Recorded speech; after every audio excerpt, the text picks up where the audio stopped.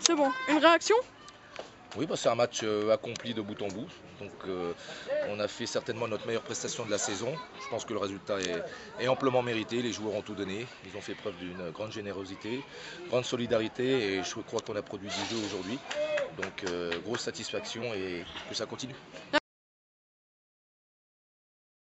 On a fait à Amnéville, on se devait de- d'une réaction. Je crois qu'on a fait un gros match. hein, Voilà, c'est seul par une victoire, c'est nickel.